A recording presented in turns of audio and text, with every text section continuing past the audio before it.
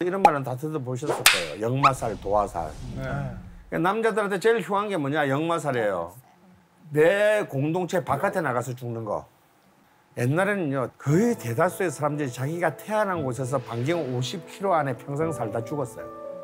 다 농경 정착 사회였기 때문에. 지금 만약에 자기 태어난 동네에서 반경 5km 안에 살다가 죽는 사람이 있다면 진짜 그 불행한 삶이지 않겠습니까? 그죠?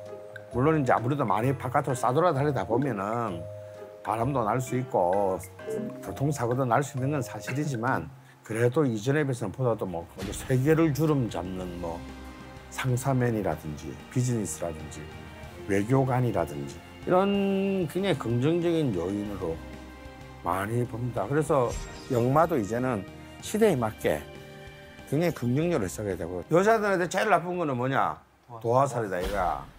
근데 그거는 옛날에 이제 모든 여자들은 그냥 일부 종사를 해야 되는 남성 중심주의 가부장 시대의 이데올로기가 만들어낸 거지 요즘은 돈 주고서라도 도화살을 가지려고 하잖아요. 도화는 사실은 이렇게 성적인 매력을 뜻한다기보다는 남한테 인정받는, 남한테 사랑을 받는, 왜 이런 회사 생활 하다 보면 나 같은 열심히 같은데 꼭 인사고과를 상사들이 잘 받는 사람이 있어요.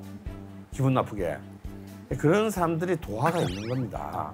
그러니까 뭘 해도 좀 주목받는. 주목을 받는, 인정을 받는 어떤 그런 힘으로 봐야 하는 겁니다. 저는 사주 봤을 때요. 어. 역마살도 있고 도화살도 있다 그랬어요. 네. 그래서 처음에는 그게 사실 썩 이렇게 기분이 막 좋진 않았어요. 음. 근데 그게 만인의 뭐 꽃이 되라는 뭐 그런 뭐이 사주래요. 그래서 아 그런가 보다 해서 그렇게 받아들이고 저는 살고 있어요. 네, 그래서 요즘은 역마살, 도화살이라고 하지 않고 역마, 도화, 그래서 살을 빼고 얘기를 합니다. 그럼 그 저희 같이 방송 활동하는 사람들한테는 그 도화라는 게 필수인 건가요?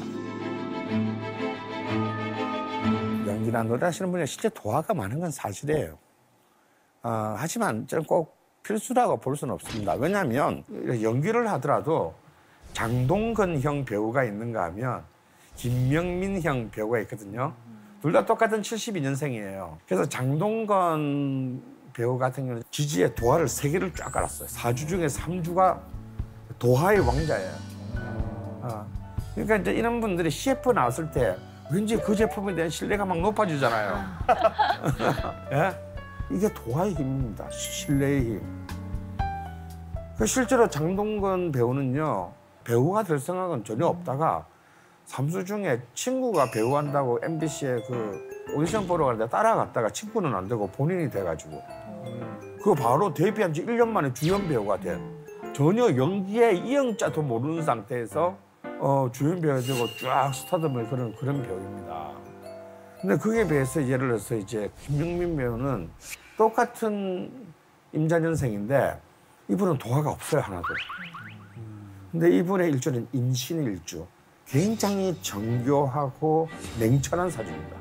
그러니까 뭔가 연예인 같이 막 방금 방금 듣고 이런 거하고 좀 안 어울리시잖아요. 이런 경우를 보고 이제 method act라고 합니다. 연기를 본능적으로 하는 것이 아니라 굉장히 연기를 과학적으로 분석해가지고 그 방법론을 만들어내는 것을 말하는데요. 실제로 임신일주의 사람들 중에는 그런 어떤 지성을 갖춘 예술가들이 되게 많아요.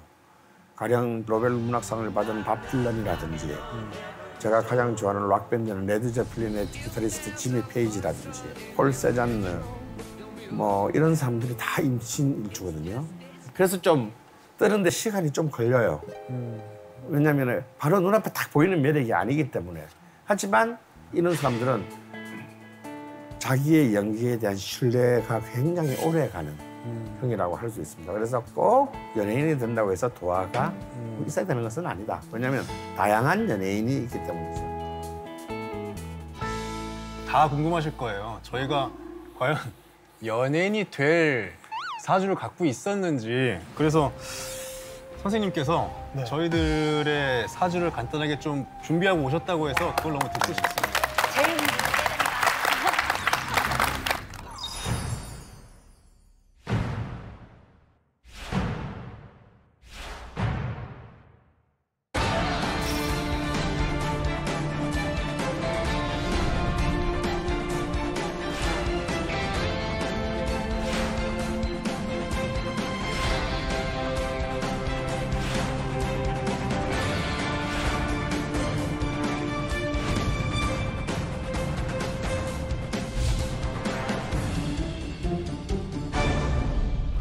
저희 여섯 명 중에 누가 제일 아 사실 굉장히 제, 그냥 아, 이게 떨리냐. 네, 굉장히 솔직하게 말씀드려야 되는 거잖아요. 아? 그럼요. 네, 뭐 아예 다 있어요 이렇게 재미없잖아요. 아 제가 보기에는 여섯 분 중에서 연예인으로서의 명을 가장 강하게 타고나신 분은요.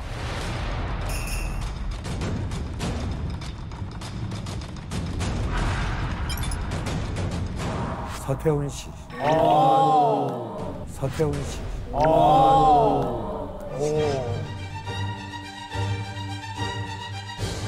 어머니가 제대로 보고 오신 게 맞죠? 저 보고 아, 여기 이제 제 보시면 아닌 줄 알고 깜짝 놀랐네.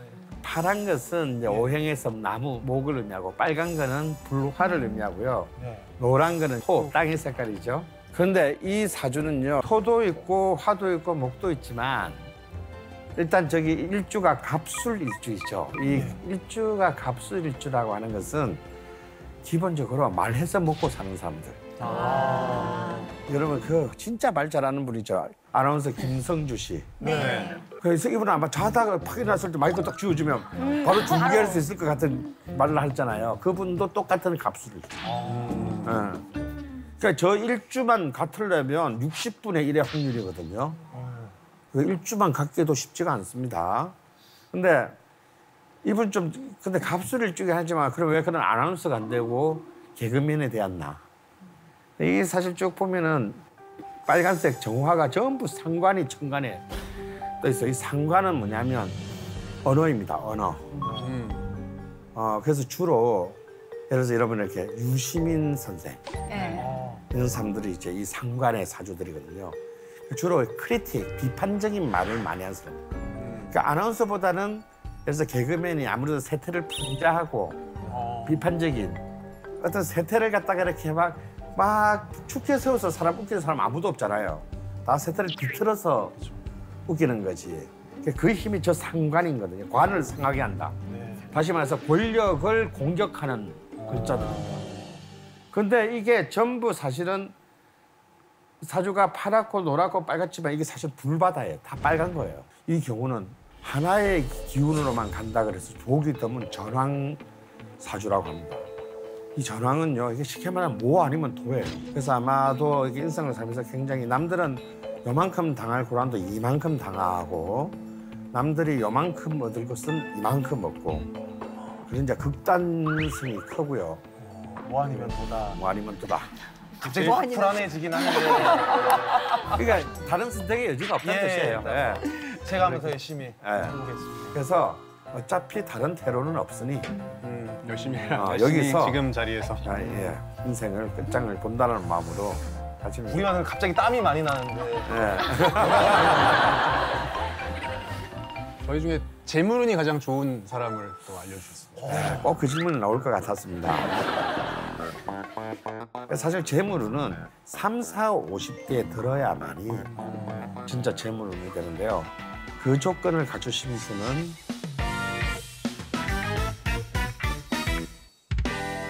그 조건을 갖추신 분은 하석진 씨, 하석진 씨. 재산이 어떻게 돼요? 그래서 이제 아니 아까 연예인 누나한테 박수 안 나오더니 질문은 박수가 나오네. 볼 수는 없는 건가요? 사람들이 사람들이 돈은 중요해요. 결국은 결국은 돈이라고 생각하는 거예요. 그런 건 자, 사실이에요. 이분은 제가 볼 때 가장 비연예인 사주입니다. 가장 비연예인 사주입니다. 근데 이분은 공부를 하거나 어, 아니면 직장에 다니고 사업을 하시더라도 뇌생남이잖아요. 뇌생남. 원래 공부를 잘하는 아, 원래 잘하는 사람이에요. 네, 옆에 네. 선생님도 계시고 어, 뇌생남. 혹은 만약에 종교가 있다면 굉장히 뛰어난 목회자가 될 수 있는 자질도 가졌고요. 연예인만 빼고 연예인만 빼고 아 농담이고요. 연예인도 마찬가지. 뭐든지 남들보다 A 플러스 이상을 할 수 있는 씨는 공무원을 해도 아주 잘하실 분이에요. 하물며. 되게 좋은 거. 어. 근데 학생자 만약 재물을 탐한다면 꼭 하나의 길로 볼 생각을 하지 마시라고 말씀드리고 싶어요. 한 가지 방향으로만 돈을 벌 생각을 하신다면 그렇게 큰 돈은 벌기는 좀 어렵겠다. 아, 극과 극이네요. 아. 여기는 뭐 아니면 도니까 한 가지만 하라고 그러고. 학원 사업 근데 한다는 거. 사실 저게 확률이 좀 더 좋은 것 같은데. 사업자. 음, 이분은 한 국민학교 다닐 때부터 지금 계속 대운의 흐름이 굉장히 좋으셔요. 근데 이제 근데 어릴 때 좋은 것은 다 초장급 빨 개급발로 끝나는 경우가 많은데 부모님이 운이 좋으셔. 아, 어릴 때부터 하여튼 좀 굉장히 좀 유복하거나 아니면 좀 주목받는 삶을 많이 사신 것 같아요. 이 30일, 40일, 50세까지가 이 20년 동안이 자신의 운을 현실 속에서 펼쳐서 그 실제 그 결실을 자기 손에 쥘수 있는 굉장히 좋은 흐름으로 갑니다. 결혼운 제일 좋은 아, 사람. 결혼운이 제일 좋은 결혼 결혼운이 제가 볼 때 제일 좋은 분은 서태훈 씨, 서태훈 씨. 아 진짜요?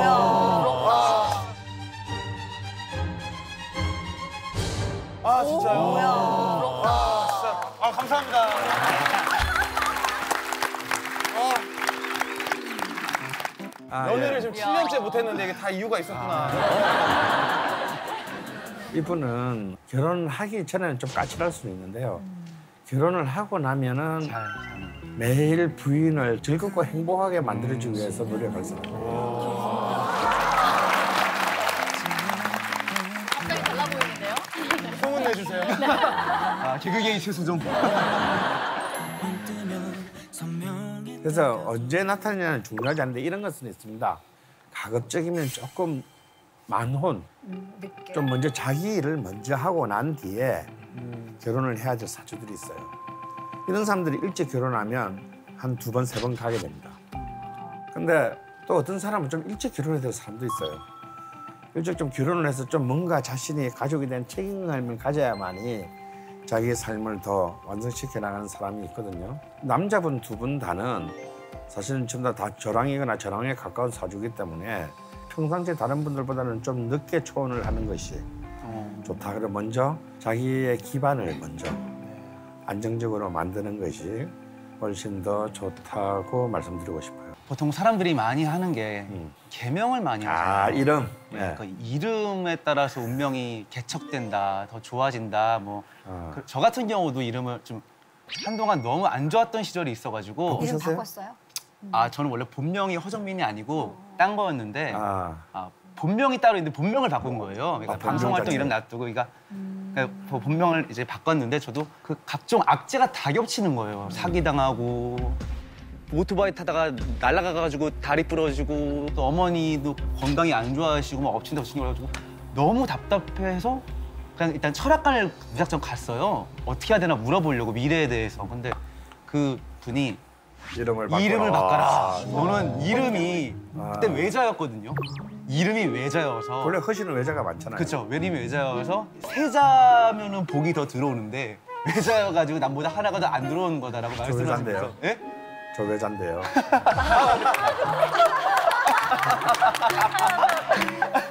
아무튼 선생님 개명하셔야 네, 돼요. 그래서 이름을 개명을 하라고 어디예요? 예? 저희 금호동에 있는 아무튼 그래서 이름을 개명을 한다는 게 명리학적으로 봤을 때 정말 운명을 바꾸는데 아, 사실적인 효과가 있는 건지 그게 되게 궁금하거든요. 저는 일부 효과가 있다고 봅니다. 근데 이름은 자기가 부를 일은 없죠.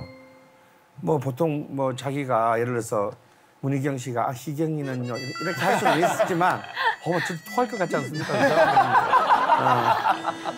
이름은 남이 자기를 부를 때 쓰는 겁니다. 그런데 나를 호명하는데 쓰는 그 언어가 내가 듣기 싫다면 바꿔야죠. 정말 자기가 볼 때도 모멸적인 이름, 또 시대에 맞지 않는 이름들이 있어요. 특히 여자분들 이름 중에서. 어, 무슨 자, 뭐 이런 거 있잖아요. 저희 어머니가 여든 다섯인데요. 이름 바꾸셨어요. 이름이 이제 뭐뭐 자로 끝나시거든요. 그게 너무 너무 싫으셨던 거예요. 그래서 지금은 뭐 그냥 약간의 절차만 아, 하면은 금세 바꿔주니까 쉽게 바꾸는데요. 여러분 거꾸로 한번 생각해 보세요. 전화번호 자주 바뀌는 사람하고 이름 바뀌는 사람이 신뢰가 갈 것 같습니까? 네, 신뢰 안 가죠. 그래서 자기 이름에 특별한 하자가 없는 사람은 굳이 바꾸실 필요 없습니다. 사실 옛날에는 서로 자유의 시대가 아니었기 때문에 사주를 미리 맞춰본 겁니다. 근데 지금은 이미 결혼하시기 전에 다 맞춰보잖아요. 그런데도 궁합을 보러 간다. 저는 이미 궁합을 보러 간다는 그 자체가 이미 잘 안 된 커플의 전형이라고 봅니다. 뭔가 미심쩍고 의심이 가니까 물어보는 거잖아요. 당대에서 제일 잘 나가는 부산의 이제 박도사님이 실제로 그런 말을 했어요. 이분도 제자가 많으신데 제자들이 다 독립해서 영업을 하다가 아 스승님 여기 우리가 다 이렇게 쓰는데 배워서 나가서 영업을 해보니까 궁합을 보러는 젊은 사람들이 그렇게 많은데 왜 우리한테는 궁합 보는 법을 안 가르쳐 주셨나요? 왜 치사하게 자기만 알고 말이야. 그랬더니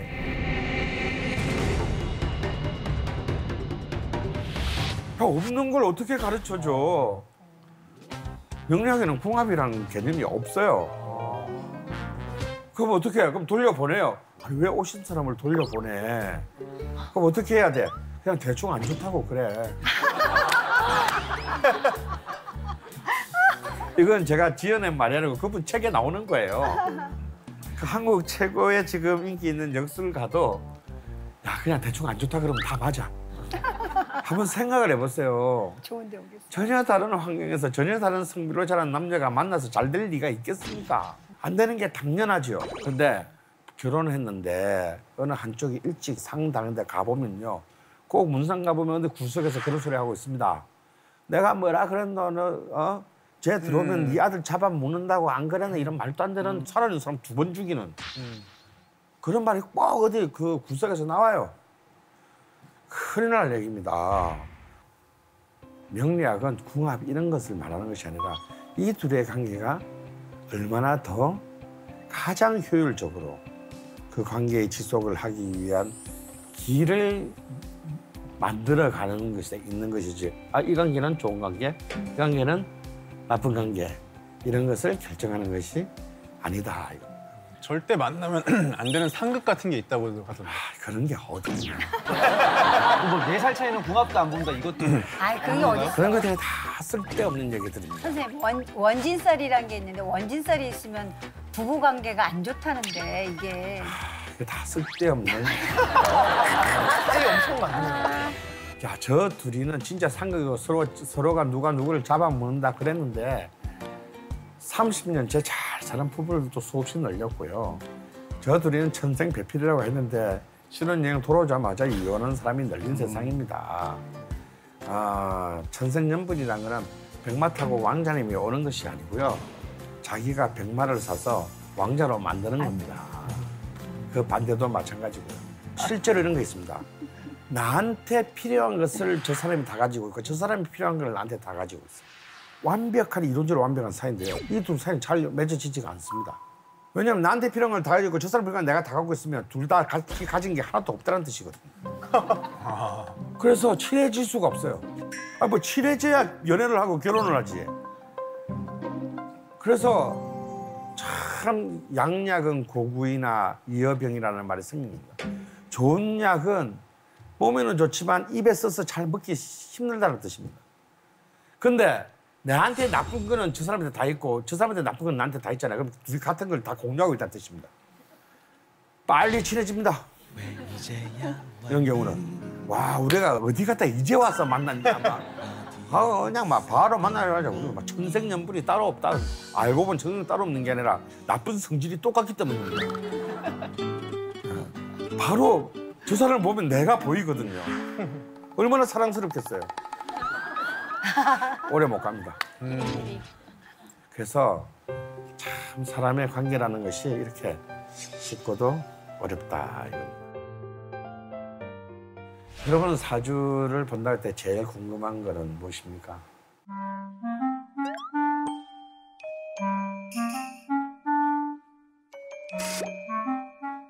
제일 많이 묻는 게 우리의 재물운은 어떻게 될까요? 저는 떼돈을 버나요. 옛날에는 100년 전까지만 하더라도 재물보다 무엇을 더 우선시했습니까? 건강, 명예. 명, 명예. 명. 관. 관직. 아. 관직. 왜냐하면 남자는 권력을 얻지 않으면 아무런 것이 아니기 때문에 근데 이제 지금은 이제 관의 시대는 끝나고 제 시대가 됐습니다. 명리학에서 말하는 재물이라는 것은요 어떤 뜻이냐면 떼돈을 의미하는 것이 아니고 삶을 실현하기 위해서 필요한 재화를 내가 공급받을 수 있냐 없냐의 여부를 말하는 것입니다. 즉 내 명이 만약에 학자가 될 명이라면 그럼 적어도 대학원은 가고 박사학위는 받아야 될 거 아니에요? 그럼 그러려면 아무래도 좀 부모님이 날 좀 도와주시거나 나이 많은 형이 잘 돼가지고 내가 학비를 좀 이렇게 좀 덜 벌어도 일찍 학위를 마치려 도와주 이게 재물운이에요. 재물운이 없다라는 것은 돈이 없다는 게 아니라 내 명을 실현시키는데 꼭 필수 불가결한 재화를 내가 못 받는다. 그럼 어떻게 됩니까? 그걸 포기해야겠죠. 아니면 긴, 너무 긴 시간이 걸리든가. 만약 한 학기 벌어서 한 학기 다니고 또 한 학기 알바하고 한 학기 다니고. 그럼 그렇게 경쟁해가지고는 그 경쟁자들과 싸워서 이길 수 있겠으면 힘들겠죠. 그게 재물운이에요, 여러분. 그 이상은 재물운과 상관이 없습니다. 예를 들어서 이런 경우는 있습니다. 내가 편제가 강하다. 이런 사람들은 남의 돈을 만지는 직업을 하는 것이 참 좋습니다. 은행이나 증권회사에서 하루에 수백억을 만지는데 내 돈은 아니야. 하루에 수백억을 만지는데 내 돈은 아니야. 난 그냥 월급 받아. 근데 이런 사람이 있어요. 난 자기는 내 돈이 아닌데 하루에 외환 거래 하면서 몇백억 하면 퇴근할 때 기분이 그렇게 좋다는 거예요. 왜? 표- 나는 그냥 큰 돈을 만져야만 되기 때문에. 어떤 사람한테는 스트레스지만 어떤 사람한테는 그것이 좋은 것이죠. 그래서 이제 이 편제라는 것은 몸에 지니지 않은 재물이라는 뜻입니다. 나 그럼 야, 내 재산인데 몸에 지니지 못한다는 게 무슨 의미가 있냐? 왜 내 재산인데 왜 내가 몸에 지니 내게 안 돼? 여기에서요. 여러분 경주 최부자 집의 가훈을 마지막으로 여러분께 말씀드리고 싶어요. 우리나라는 그런 말이 있어. 삼대 부자가 없는 거야. 삼대 부자가 되려면 그 전에 다 죽창에 찔려 죽어요. 일대 부자도 힘들어.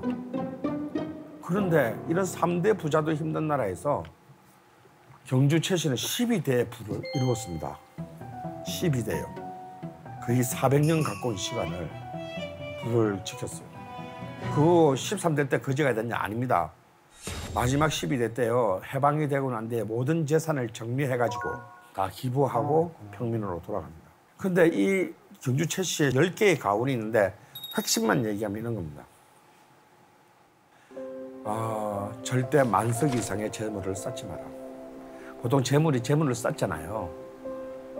이걸 경계한 겁니다. 만석이 되면 욕심을 버려라.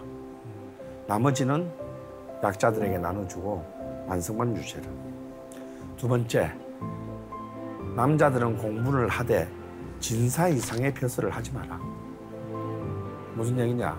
권력과 재물을 동시에 가지지 말라는 뜻입니다. 진사는 뭐냐면 지방 향토직으로서 명예직이야. 그러니까 이제 다 봉사직이에요, 봉사직. 봉사나 하면서 뜻입니다. 세 번째, 절대 흉년 때 땅을 늘리지 마라. 그냥 빌려주고 곡식으로 받아라.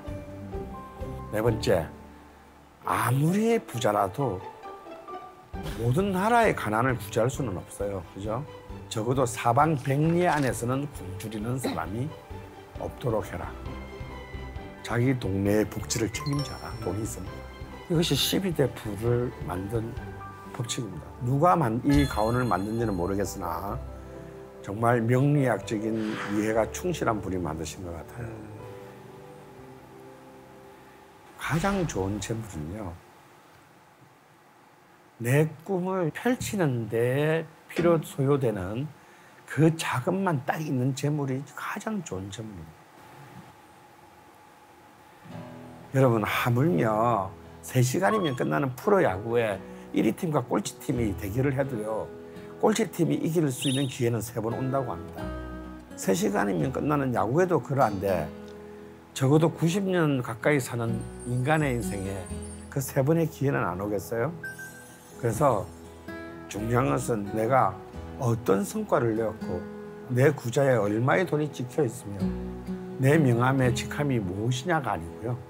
여러분의 삶을 완전 연소시킬 수 있는 그래야 여러분이 가장 그득한 삶의 충만감을 느낄 수 있는 그 무엇입니다. 그 무엇은 다 달라요. 누가 만들어줄 수가 없습니다. 여러분이 스스로 찾는 수밖에 는 없겠죠. 오래 전 사진이에요. 이분 혹시 아세요? 혹시 아니에요? 아닙니다. 네. 한 30년 됐죠. 제가 고등학교 때 얘기니까. 미야- 네, 미야자와 일본의 미야자와 리에. 미아자리. 아, 그때 좀 많이 노신 분이네. 네, 이거 어떻게 아시죠? 예? 이분이 그 누드 모델로 나와서 막 착받침 보고 막 그랬던 분인데. 아, 연세가 어떻게 되세요, 우리 기수 씨가? 예? 연세가 어떻게 되세요? 제가 40대 초반입니다. 뭐 40대 초반인데 어떻게 아시죠? 저, 제가 왜, 왜 알죠? 아무튼 그 당시 일본을 대표하던 톱 모델이에요. 근데 이분이 누구와 결혼한다고 발표해서 화제가 되죠? 이 오른쪽에 스모 챔피언. 일본이 발칵 뒤집힌 거예요. 왜냐하면 이렇게 작고 갸냘픈 여성이 결혼한다는 게 너무 안 어울리니까 막 깔려 죽겠다 뭐 이런 얘기도 했잖아요. 근데 한간에 어떤 오해가 있었냐면 아 이 여성이 돈 때문에 결혼하는 거다. 왜냐하면 스모 챔피언은 엄청나게 돈을 많이 버니까. 그런데 그들은 어떻죠? 배가 많이 나오잖아요. 이렇게 밀어내야 되니까. 배를 일부러 키우잖아요. 극심한 복부 비만이 있으니까 제명에 못 살고 빨리 죽는다. 그래서 그런 걸 노린 것 아니냐. 예, 좀 말도 안 되는 얘기지만 아무튼 그런 오해가 있었는데 스모 선수들이 우리가 생각했던 것보다 빨리 죽지 않는다. 연구를 해보니까. 그들은 엄청난 복부 비만인데 그들이 이렇게 오래 버티는 이유는 뭐예요? 이거 보세요, 이 허벅지. 어마어마하잖아요. 코끼리 다리죠. 이게 비결이란 얘기예요. 배가 이렇게 나와도 이들이 건강할 수 있는 이유는 하체 근육이 받쳐주기 때문이다. 그래서 아주 유명한 의학 격언 가운데 이런 게 있어요. 인간은 한평생 상체와 하체가 싸우는 거다. 여러분이 건강하고 오래 살려면 여러분의 다리가 허리를 이겨야 한다. 이걸 기억하십시오. 다리는 굵고 허리는 가늘게 이게 가장 바람직한 거. 근데 이게 상대적인 개념입니다. 운동을 해도 다리가 가는 분이 있단 말이에요. 괜찮아요. 허리가 날씬하면 된다. 자 반대로 배가 좀 나와도 돼요. 다리가 굵으면 된다. 이해가 되시죠? 그래서 양쪽 비율이 중요하다. 제가 줄자를 그래서 하나 준비했거든요. 어떻게 되냐면요. 허리 둘레 재시고 그 다음에 허벅지 제일 굵은 둘레 재시고 그 다음에 종아리 제일 굵은 둘레 재시고 그래서 종아리하고 허벅지를 합친 길이가 나의 허리 둘레보다 많이 나갈수록 좋은 거예요. 이게 만약 거꾸로 돼 있다. 둘을 합친 게 허리 둘레보다 작게 나간다. 아 이건 비정상이죠. 그러네. 한번 재보세요. 허리 둘레는 알고 계시죠? 잘 몰라요. 어, 그럼 한번 재보세요. 어, 오늘 알수 있겠다. 네, 요게 이제 에, 센- 센치예요. 이렇게 재고 한번 도와주시죠. 네. 가장 손쉽게 내 건강을 객관적으로 알 수 있는 방법입니다. 아, 근데 배에 힘을 막 주시네. 네. 운동을 좀 네. 몸이 좋은 체질이라. 아, 그래요? 네. 이거 어떻게 하지? 네, 재보세요. 한번 재주. 네. 어, 네, 내가 재보세요. 재줄까? 네, 이렇게. 어우, 야, 뭐 왕자가 있네.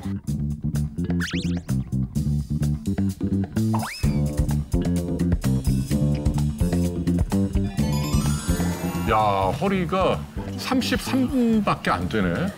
와, 좋으시다. 그 다음에 이제, 왕자가 있어. 네, 여기 허벅지도. 허벅지는 제- 내가 해줄게. 좀 제일 굵은 대로, 더 위로, 제일 굵은 대로. 알겠습니다. 네. 제일 붉은 데로요? 네. 아, 잘했어. 아, 미안. 제가 제일 굵어가지고. 네, 지금 뭐 허리 둘레가 32, 30. 오. 네. 21.5. 오, 훌륭한 거예요. 그 21.5. 정도면. 그다음에 허- 네, 종아리. 어, 제일- 종아리가. 네, 오, 건강하다, 건강해. 네. 14. 13. 그러니까, 그러니까 22에 14면은 36이잖아요. 어. 그러니까 3cm 더 하체가 좋은 거예요. 근데 이렇게 나와야 한다니. 그래서 여러분들이 앞으로 운동을 하실 때는 달리기, 뛰기, 유산소 운동 중요하지만 근육을 키워야 한다. 코어 머슬 그리고 하체 허벅지 근육을 키우세요. 자 마지막으로 간단한 테스트를 한번 해볼게요. 여러분들이 손가락으로 여기 허벅지 살갗을 이렇게 한번 집어보세요. 여기를 살짝. 어때요? 얇아요? 두꺼워요? 두꺼워요. 솔직히 얘기해보세요. 얇으세요? 두꺼우세요? 이거 얇아야 돼요? 두꺼워야 돼요? 두꺼워야 돼. 이게 얇아야 좋은 거예요. 근육이 반대예요. 얇아요. 이거 얇아야 좋은 거예요. 두꺼워야 돼. 자, 왜 그렇죠? 이건 뭐예요? 여러분 잡고 있는 이거는? 이건 지방이죠, 비계살. 네. 그러니까 다리가 굵어도 이게 두꺼워서 굵으면 안 돼요. 이건 얇고 그 안에 근육이 많아야 좋은 거예요. 백가죽도 한번. 예. 한번 집어보세요. 어때요? 두꺼우세요? 얇으세요? 네? 뿌리는 두껍고 앞에는 괜찮아요. 네, 대체로 두꺼운 편인가요? 얇은 편인가요? 어느 쪽이 좋죠? 두꺼워야 돼요? 얇아야 돼요? 얇아요. 여러분, 백가죽은 죄송하지만 차라리 두꺼운 게 좋다. 우리 상식하고 반대예요. 자, 왜 그렇죠? 자, 의사들이 몸에 나쁘다고 말하는 복부 비만, 본질이 뭐예요? 뭐가 몸에 나쁜 거죠? 무슨 지방이 나쁜 거예요? 그렇죠. 내장 지방이 나쁜 거예요. 지금 여러분이 잡고 있는 이 백가죽은 뭐죠, 이거? 지방. 이건 피하 지방. 네, 이거 그냥 보기 흉한 거예요. 내 건강하고 아무 상관이 없어. 이렇게 두꺼워도 괜찮아요. 그러니까 몸에 나쁜 건 이게 아니고 그 안에 내장 사이에 막 덕지덕지 붙어 있는 이게 나쁜 거. 이해가 되시죠? 허리 둘레가 똑같은 두 사람이 서 있다. 그러면 차라리 백가죽이 두꺼운 분이 더 좋다. 왜? 상대적으로 내장 안의 기름량은 적은 거니까. 그래서 요건 얇아야 되고요. 요건 차라리 두꺼운 게 좋다. 자, 이제 먹는 이야기 해드릴게요. 먹는 것도 아주 중요하죠. 사실은 먹는 거는요, 이미 정답이 나와 있어요. 싱싱한 재료로 가능하면 골고루 드십시오. 이게 핵심입니다. 근데 중요한 건 우리가 모든 음식을 골고루 먹는 게 굉장히 어려운 일이에요. 미 국립암연구소가 오래전에 현대인들이 하루에 먹어야 할 채소 과일을 얼마라고 얘기했죠? more than five dishes라고 표현합니다. 최소한 하루에 다섯 접시를 드십시오. 여기서 한 접시라고 하는 건 부피로 8온스입니다. 240cc, 한 이만한 컵. 이걸로 다섯 컵을 매일 먹어야 한다고 그랬어요. 옛날 원신들이 그렇게 먹었다는 얘기예요. 풀이나 뭐 이런 거 먹었단 말입니다. 근데 누가 그렇게 먹죠, 여러분 가운데? 그러면 이렇게 부족한 걸 내버려 두는 게 옳으냐라는 얘기예요. 아니죠. 라면이 몸에 나쁘다고 말하지만 끼니를 굶는 것보다는 나은 것. 부족한 걸 내버려 두면 안 됩니다. 그래서 저는 여러분들께 당부드리고 싶은 게 가능하면 골고루 식품을 먹는 게 바람직하지만 다들 바쁘기 때문에 일일이 챙겨 먹지 못하는 영양소들이 있어요. 그런 것들은 따로 영양제 형태로 먹어야 됩니다.